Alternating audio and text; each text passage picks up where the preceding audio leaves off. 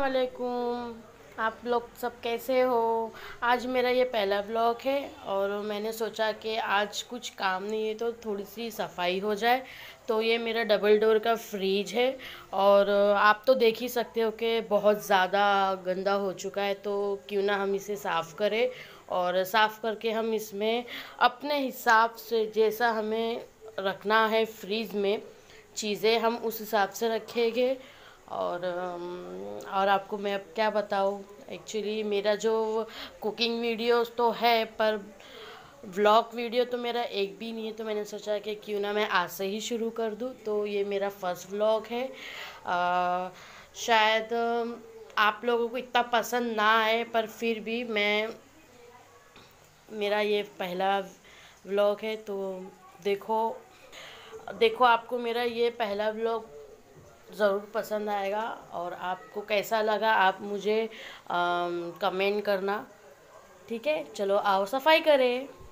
ये मेरी फ्रीज़ में ये ऐसा हो चुका था तो ये कभी ऐसा होता नहीं है बट अभी क्या करें, ये हो चुका है तो इसे हम साफ़ करेंगे। इसे मैं साफ़ करूँगी अपना वेनेगर और सोडा से। इन ताला ये बहुत अच्छा साफ़ हो जाएगा। अब हम धीरे धीरे सामान सारा निकालेंगे हमारा। इसे भी हम स्टोर करेंगे एक डब्बे में।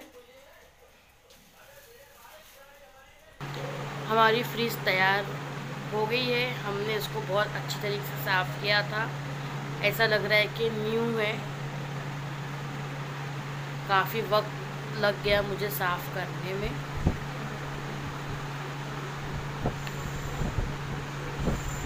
और मैंने इसे साफ़ करके मैंने इसमें रखा है हमारे न्यूज़पेपर ताकि थोड़ा अच्छा दिखे। और हम इसमें कुछ भी कांच की बॉटल हम इस पर रख सकते हैं ताकि इसमें कुछ चीज़ें ना गिरे। ये देखो।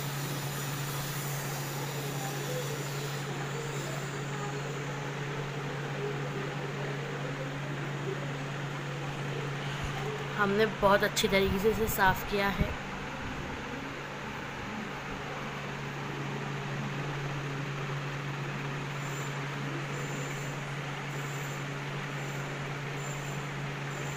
मैं वीडियो यहीं ख़त्म करती हूँ। नेक्स्ट वीडियो में मैं बताऊँगी आपको कि मैंने किस तरह फ्रीज़ में सारी चीज़ें मैंने स्टोर किया है। जब तक के लिए अल्लाह हाफिज़। नेक्स्ट वीडियो में हम मिलेंगे। बाय कमेंट करना ना भूलिए। आप कमेंट में आप मुझे बताइए कि आपको कैसा लगा इस सफ़ाई से।